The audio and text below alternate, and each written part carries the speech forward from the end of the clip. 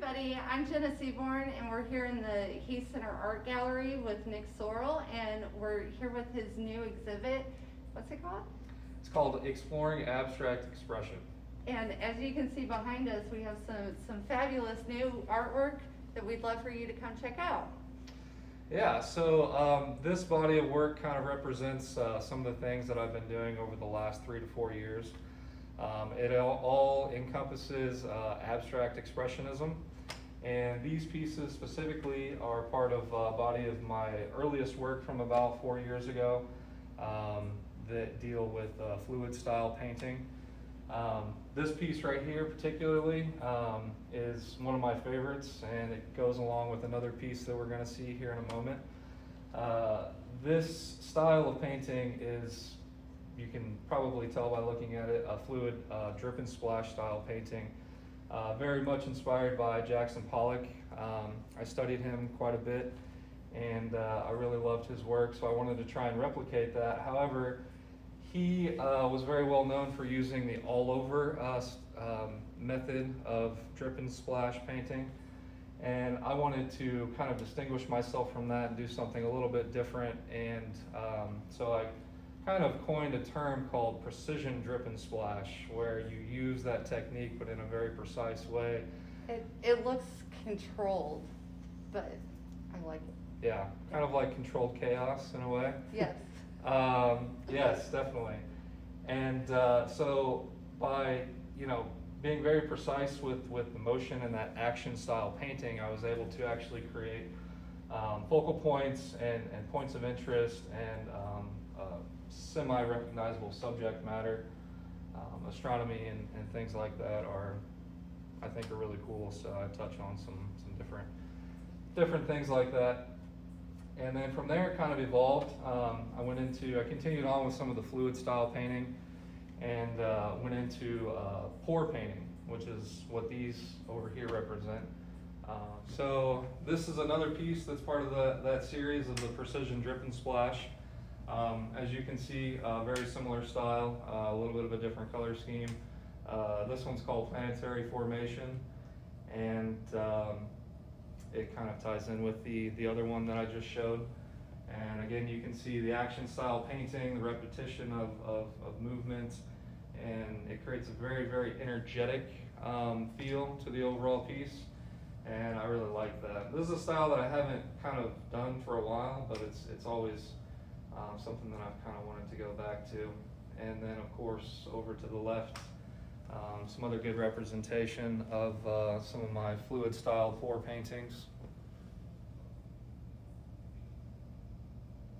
So these are some of your earlier works on this side of the gallery? Yep, so these fluid paintings represent what I was doing basically from 2016, the summer of 2016, um, all the way through probably the summer of 2017. So about a year span, I was really focusing on fluid style painting using uh, acrylic.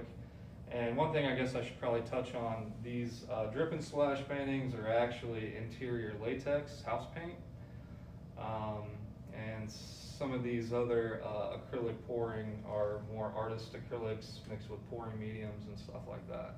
So after I kind of felt like I had had enough of fluid painting, um, I, I really started getting into textured stuff. Um, and the first type of medium that I was using that I really started getting into to texture was encaustic.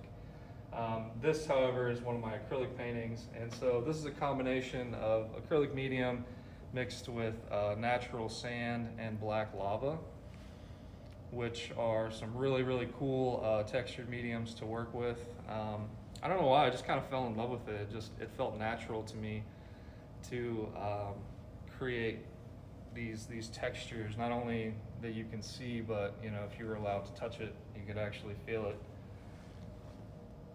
This is an encaustic uh, style painting and it's used, um, I use the accretion method style of painting, which is basically just building up layers.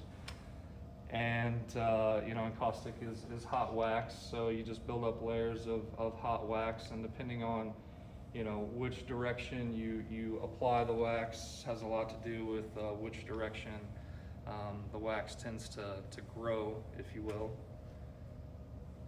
And uh, it's, a, it's a really fun process. Um, So when you do this, is it laying flat on your work table or is it on an easel? How, how does that work? Yeah, so I actually, I like to work uh, with my substrate or panel or whatever I'm using uh, flat on a table. I don't know why, it just feels easier for me and more natural when I'm doing certain types of paintings, um, and it, but definitely with this style for sure. So the uh, the paintings, the encaustic paintings on the other side, and these two, I kind of want to touch on that a little bit. Those were all part of uh, an art demonstration that I did at um, the Quincy Art Center last summer, um, summer of 2019 for the Art Fest. And so I had a booth set up there and I was demonstrating how to do this process. We ended up getting rained out, um, so I had to finish these pieces later in the studio. Um, but uh, that's that's kind of where the name came from on the other side, and then these two kind of spoke to me as far as the the cool and the warm um, there. So they kind of got a little bit of a different name. But one of the things that, that I learned um, from Joe Conover, uh, like I was kind of talking about in caustic and textures and stuff like that, he he really uh, taught me everything that I know about encaustic and creating textures and stuff like that. And so as I kind of graduated from encaustic and trying to apply these texture techniques that I learned to acrylic medium, which is what I uh, am more attuned to and, and generally prefer, um, I started looking at ways that I could try and create really he heavily textured um, pieces within my, my acrylic work.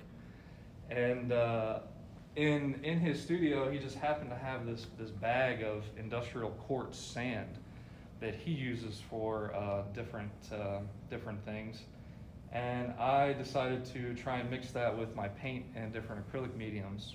And in doing so, it's it's it's created this this amazing um, textured feel to the surface of these paintings. It almost feels like when it dries, it almost feels like a like a concrete or a, or a cement, and it creates really hard edges and so it's, it's texture you can see and texture you can feel, and I've just kind of gone nuts with it here lately, and uh, that's, that's pretty much all I've been doing. Um, Are they heavy to move? um, they're not too heavy. These two uh, larger pieces on the outside, they're on a stretched canvas. The one in the middle is actually a, a custom cradled uh, artist board, so it's a little bit heavier.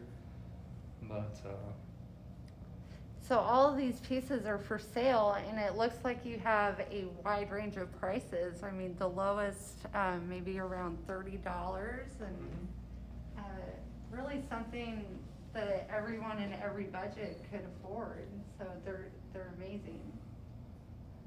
Yeah, you know, I've I've been doing this for a while. I've been kind of navigating uh, exhibitions annually throughout the uh, the region here, and so I, I kind of know what people's price points are, and I try to try to cater to, to just about everybody depending on what they're looking for, and of course, you know, the uh, the size has has a lot to do with you know the price. So we started off with the fluid style painting drip and splash, things like that, kind of uh, graduated into more complex textures and stuff like that.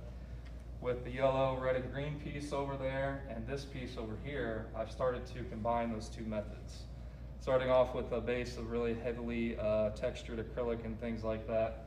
Then on top of it, I do uh, a splashing and dripping technique, which I think creates even more depth and uh, really, really just brings these pieces to life just by adding that, that little extra, um, you know, something to it. And so I, I really enjoy that, that combination. I think it's very visually appealing. And so I think I'm going to continue to do that uh, as I move forward. So, Nick, you attended John Wood, and what, what did you learn here? What kind of classes did you take? Yeah, that's a great question. So I uh, went to John Wood for graphic design.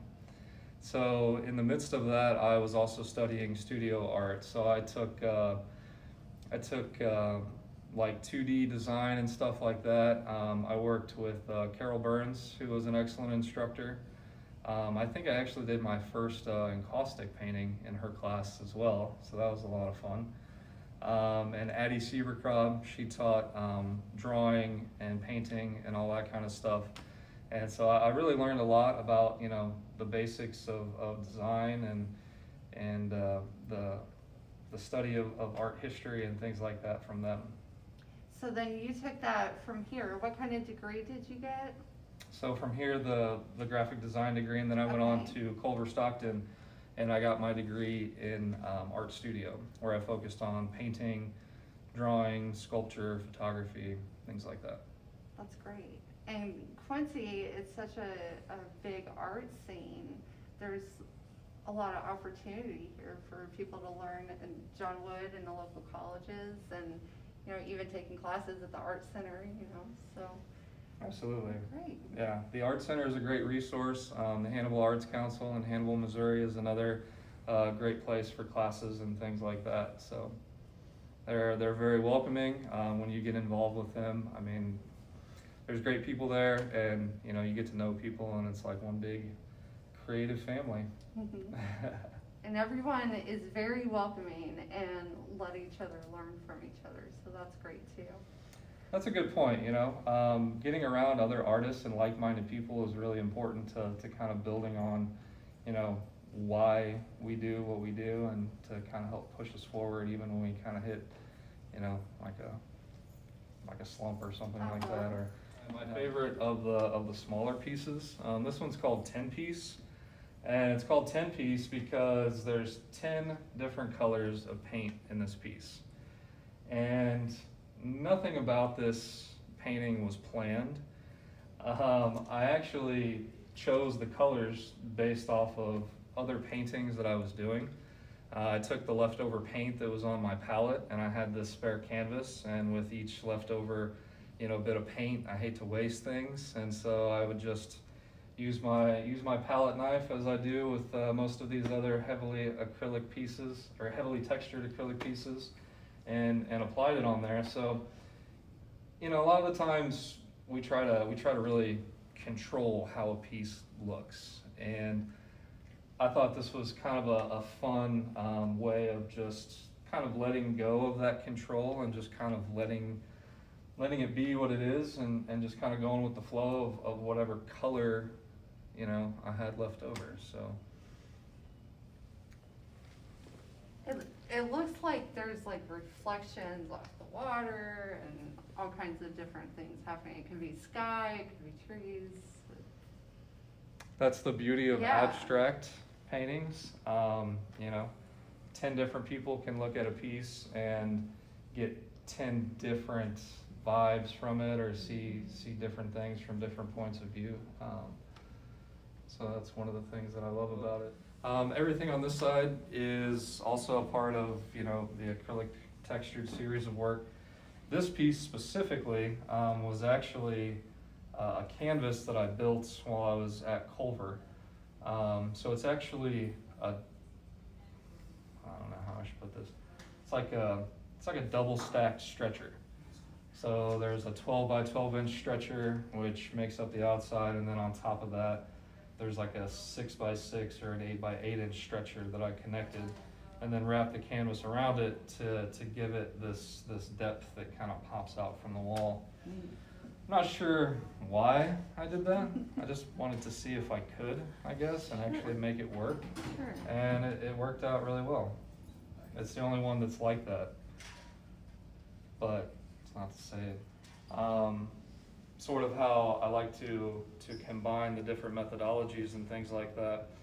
Whereas, you know, inspired by Pollock and uh, the drip and splash paintings, uh, I try to do things different from the all over method. However, when I came back to uh, acrylic textured stuff, I actually went back to sort of what I what I learned from him as far as the all over method. And you might notice that with with some of these, like there's really no focal point. Um, it, it almost looks like this is uh, a chunk of something larger, something you know that was like cut out of maybe something that was infinitely larger. Yes. Um, and I really like that. Um, it really kind of plays around with the, uh, the idea of space and visual space. We we'd like to invite the public to come take a look. So when you come on campus, just make sure you have your mask, and if you're sick, stay home. So, uh, the college is open, uh, Monday through Thursday from eight AM to five PM and till noon on Fridays. So Nick has a website, you guys can check that out too.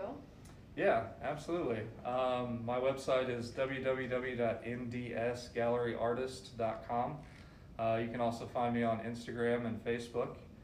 Um, that's that's pretty much it. I want to thank you guys for for taking the time out of your day to, to do this little walkthrough and for allowing me to, to show in this great space. The Heath Center Art Gallery is such a, a beautiful venue to, to show at, and um, I'm just really happy to have my work up here. So thanks. Yeah.